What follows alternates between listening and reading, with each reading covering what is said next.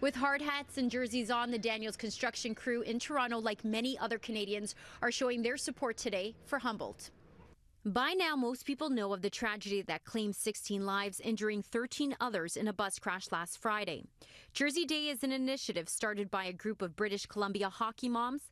Today, politicians, our breakfast TV and city news crews, and students across Toronto and the GTA are wearing jerseys in support. Anytime people are dealing with grief, one of the best things they can do is, is feel a connection to other human beings that provide that support networks. And we see that in support therapy and so many other things. So knowing that other people care, knowing that they understand, um, makes anybody feel a, a lot better.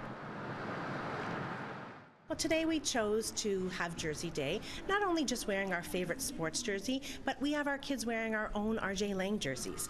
And RJ Lang jerseys is, shows that this is our community, this is our family, this is our support.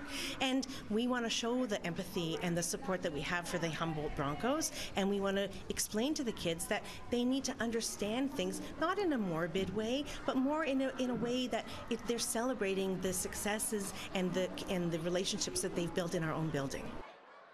But not every school board has chosen to participate in wearing jerseys. Some have decided to leave that decision with a parent or guardian. In a written statement, Halton District School Board says they indicated to school principals, vice principals, that participation in Jersey Day should be a decision made between a parent, guardian, and their child. We recognize that individuals may wish to honor and mourn in many different ways, and we respect these choices.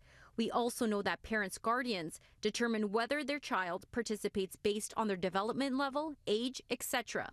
To clarify, there was no ban on participating in this activity. York Region District School Board also says they are leaving it in the hands of the guardian, adding parents have the right to communicate or not communicate with their children about tragedies like this.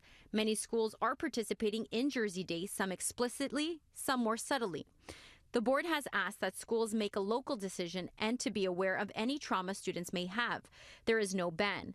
A strategy one expert agrees with. Sometimes you have to wonder what age a child is ready for those sorts of discussions. And so I think it is good to leave that in the hands of the parents and especially this openness to different ways of doing it. So I, I, like that um, the school boards are being you know open about allowing students to, to make the choices, allowing parents to choose what level to discuss this with.